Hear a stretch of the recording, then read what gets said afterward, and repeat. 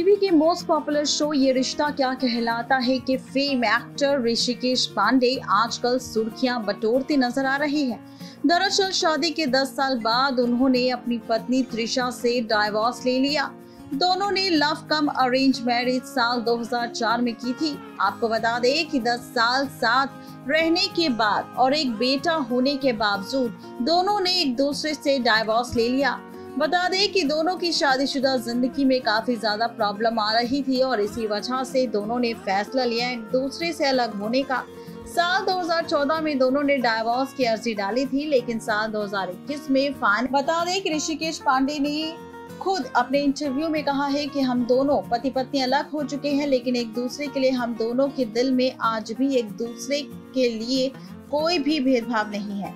ये रिश्ता क्या कहलाता है कि एक्टर ऋषिकेश पांडे ने कहा है कि इतने सालों से वो चुप थे क्योंकि वो प्राइवेसी को लेकर काफ़ी ज़्यादा अलर्ट थे। उस, उनकी इज़्ज़त करते थे। अब क्योंकि अब आखिरकार फाइनली डाइवोर्स हो चुका है तो वो अपनी पर्सनल लाइफ को लेकर खुलकर बात कर सकते हैं। बता दें कि ऋषिकेश ने ये भी कहा कि हम ऑफिशियली अलग हो चुके हैं। मैं प्यार में हमेशा यकीन रखता हूँ और अब मैं पूरी तरह से सिंगल हूँ और इसके लिए मैं तैयार हूँ। बीते सात सालों से मैंने काफ़ी कुछ सहा है, बहुत लंबा वक्त होता है। उस दौरान बच्चे के लिए मैं चुप रहा क्योंकि नहीं चाहता था कि उस पर किसी भी तरह का कोई गलत असर पड़े। अगर मैं किसी के साथ देखा जाऊँ या बात भी करूँ तो खबरें ना बन जाए। यही सोचकर मैं सिंगल रहा।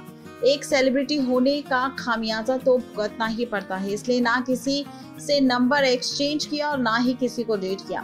मैंने करियर की शुरुआत में ही शादी कर ली थी।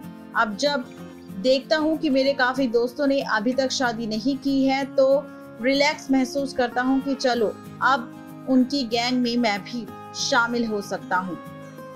बता दें कि ऋषिकेश ने बताया कि उनके बेटे की देखभाल वो अकेले कर रहे थे। पिछले एक साल से जब वो मेरे पास आता था तो माँ के बारे में पूछता था तो मैं बहाने बनाकर टाल देता था। अब लगता है कि वो मैच्योर हो चुका है और इस न्यूज़ को हैंडल कर सकता है।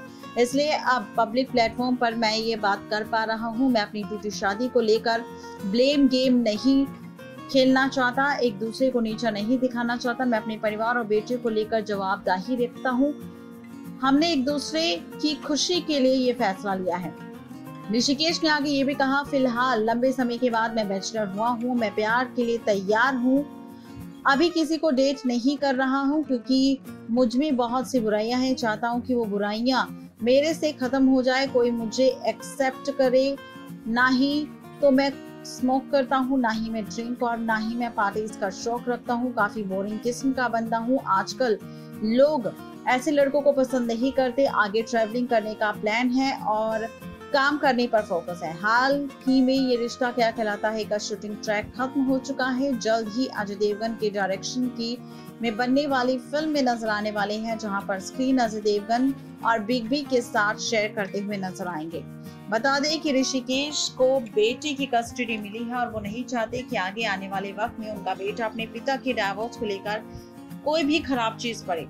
ये उनका खुद का फैसला था, जिसकी वजह से ऋषिकेश अपने डाइवोर्स के लिए चुप्पे साधे बैठे थे। ऋषिकेश पांडे का बेटा 12 साल का हो चुका है, वो समझदार है और पेरेंट्स की चीज़ों को समझता है।